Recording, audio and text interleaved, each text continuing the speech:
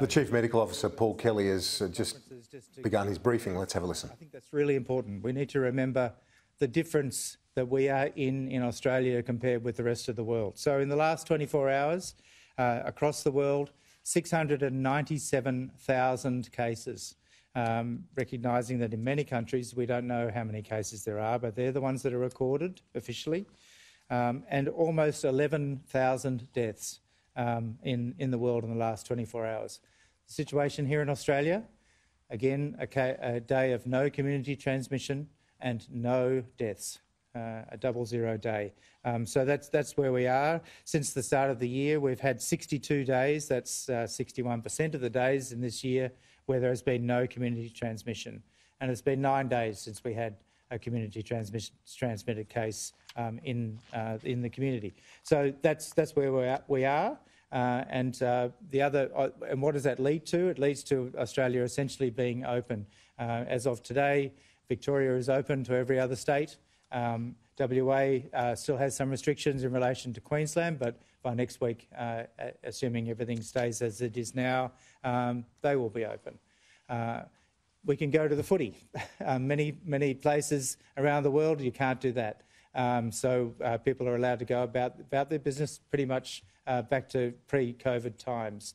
And that is because of the public health response we've had here, here in Australia since the beginning, beginning of the pandemic taking into account new information, um, taking that into our planning and our response, uh, and being nimble uh, when things change. And so, what's happened over the last few days, people have, have certainly heard about the, the safety concerns that, that were expressed by uh, the medical expert group, ATAGI, um, the uh, vaccine, uh, the immunisation uh, guiding group for the Minister for Health, um, who, who have alerted us uh, the Australian Government and the AHPPC that I chair um, about this matter with these extremely rare but uh, serious uh, issues of blood clots. And just to be very clear, I was talking to my, my, my colleague here about this just now, um, about the clotting. This is a very specific uh, clotting. This is a brand new disease um, uh, in relation to this matter. Uh, so these are not the usual blood clots that are very common that we get in our legs or in our lungs. Uh, these are particular types of blood clots, almost certainly related to an immunological response to the vaccine itself. Uh, and so, very rare, somewhere around four to six per million, uh, but can be quite serious. And so, that is why that advice uh, last week about AstraZeneca, particularly in the under 50s, um, that there was a preference that another vaccine should be used other than AstraZeneca. Um, and so that was the information that was given to us uh, by that expert group on Thursday around 7 pm. Uh, uh, within 15 minutes, the Prime Minister, myself, uh, Professor Murphy, and, and, Health Minister Hunt were, were uh, talking about that with the Australian public, giving that information.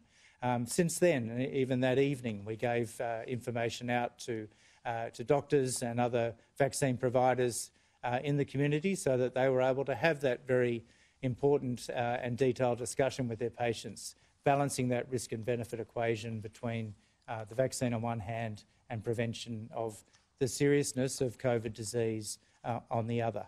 And that is something that's not unusual. That is what uh, doctors do every day uh, in relation to all vaccines, all medicines, all medical procedures. Um, none of these things are without their risk. Uh, this is just another thing to consider and to take into that conversation. Uh, in the meantime, uh, the vaccine continues to roll out.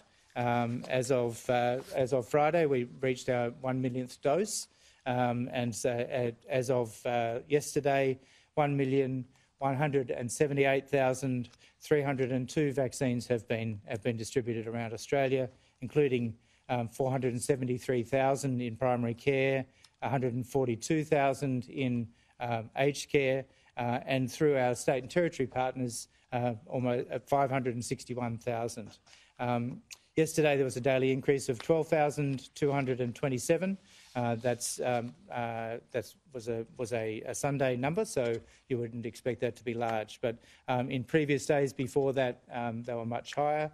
Uh, we'll be looking very closely and carefully about uh, what influence um, the that AstraZeneca um, uh, announcement will make in relation to those numbers through the week. But um, anecdotally, at least, uh, we know that many, many of our, our GP colleagues, and particularly the GP respiratory clinics that we have uh, a direct relationship with in the Commonwealth, uh, have seen some people uh, cancel their, uh, their appointments, but a very small number over the weekend, very small number. Uh, and um, there is certainly a lot of people still wanting to get that, that vaccine. Um, my main message, uh, so we are now looking to recalibrate in relation to that, to the vaccine rollout uh, on the basis of this new information. Um, but in the meantime, uh, you know, my message to all Australians is please, if you are in that 1A or 1B priority group, uh, continue to roll up to your vaccine provider, uh, roll up your sleeves and get the jab. Um, make sure that if you have concerns about uh, a particular vaccine or, or, any of the procedures, as would normally be the case, please discuss that with your normal, normal GP or the vaccine provider that you're going to. Work through those issues with them and come to that agreement uh, in an informed way, uh, including in relation to this new information that came through last week.